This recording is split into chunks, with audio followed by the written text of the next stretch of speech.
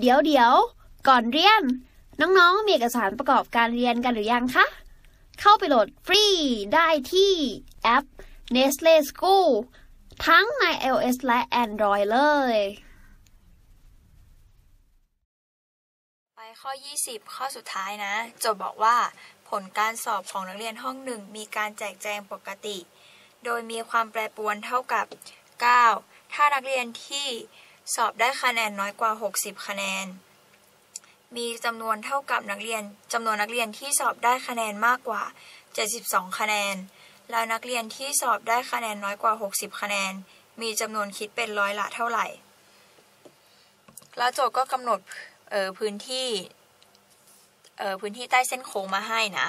ที่ z เท่ากับ 0 ถึง z เท่ากับ 2 จะมีพื้นที่เป็น 0.4773 และ z เท่ากับ 0 ถึง z เท่ากับ 2.2 จะมีพื้นที่เป็น 0.4861 เราจะได้โจทย์ถามว่าคิดเป็นร้อยละเท่าไหร่ถูกไหมก็มีช้อยให้มา อย่างแรกคือเป็นการแจกแจงปกติ หมายความว่ายังไง หมายความว่ามีการแจกแจงเป็นในลักษณะของเส้นโค้ง ก็คือเป็นแบบนี้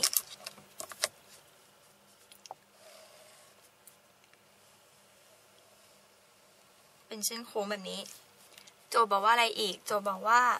มีค่าความแปรปรวนเท่ากับ 9 9 ซึ่งค่าความแปรปรวนก็คืออะไรเอ่ย คือ s กำลังสองเท่ากับ 9 ถูกไหม ดังนั้นเราก็จะได้ว่า s เดียวก็คือมีค่าเท่ากับ 3 ซึ่ง s คืออะไร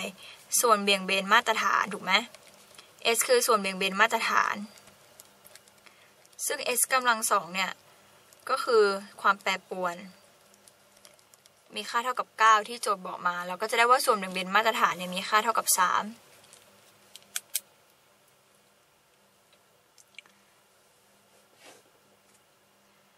และโจทย์บอกอะไรอีก เขาบอกว่าถ้านักเรียนที่สอบได้คะแนนน้อยกว่า 60 คะแนน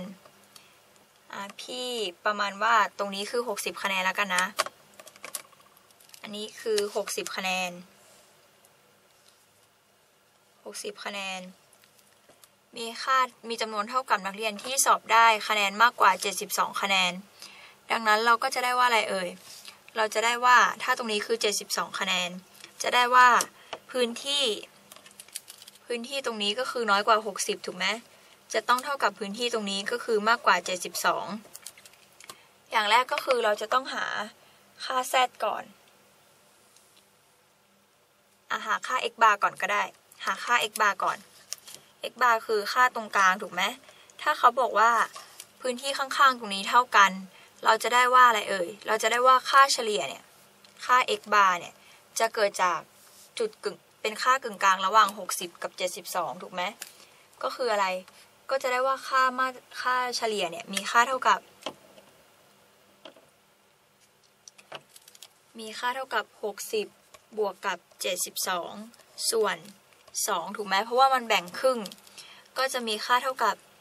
132 ส่วน 2 เท่ากับ 66 นั่นเอง เพราะฉะนั้นเราก็จะได้ว่า เราก็จะได้ว่าค่าเฉลี่ยเนี่ยมีค่าเท่ากับ 66 จากนั้นเราก็หาค่ามาตรฐาน ซึ่งค่ามาตรฐานจะมีสูตรเป็น z เท่ากับ x ลบ x bar ส่วน s x ก็คือข้อมูล ซึ่งเราได้ว่าพื้นที่มันเท่ากันถูกปะพื้นที่เท่ากันหมายความว่าไง ก็จะหมายความว่า ค่า z เนี่ยมันก็จะเท่ากันต่างกันกันแค่เครื่องหมายบวกลบ เราก็หาค่ามาตรฐานของ 60 เพราะสิ่งที่โจทย์ต้องการรู้ก็คือจำนวนนักเรียนที่สอบได้น้อยกว่า 60 คะแนนเนี่ยคิดไปร้อยละเท่าไหร่ถูกไหมเราก็หาค่า z ของ 60 ก็จะกลายเป็น z ของ 60 ก็คือ 60 ลบกับ 66 คือค่าเฉลี่ยถูกไหมส่วนค่ามาตรฐานไอ้ส่วนเเป็นมาตรฐานก็คือ 3 ก็จะกลายเป็นลบ6ส่วน 3 เท่ากับลบ2เราได้ว่า z คือลบ2ถูกไหมเราก็มาดูพื้นที่ที่โจทย์กำหนด โจทย์บอกว่าจาก z เท่ากับ 0 ถึง z เท่ากับ 2 เนี่ย จะมีพื้นที่เป็น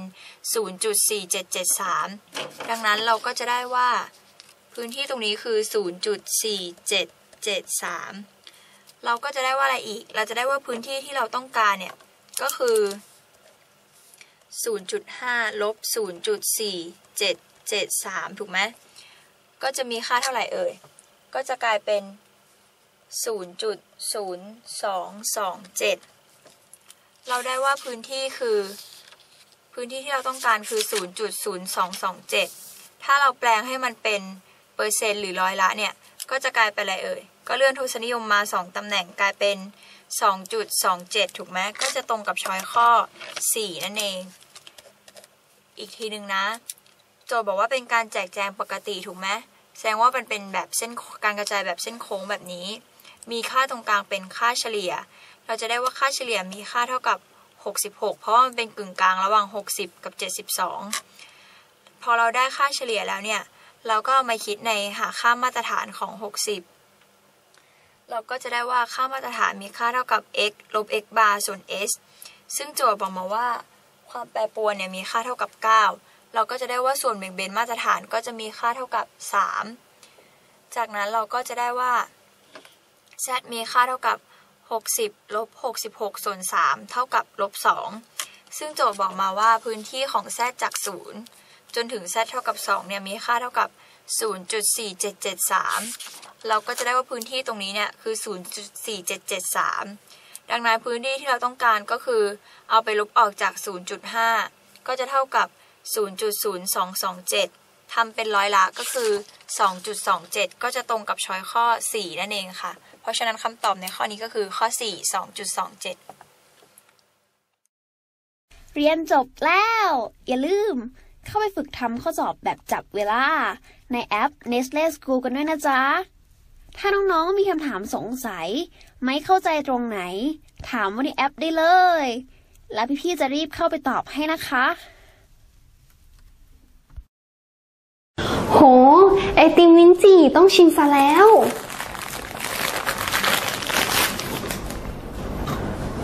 อืม อร่อย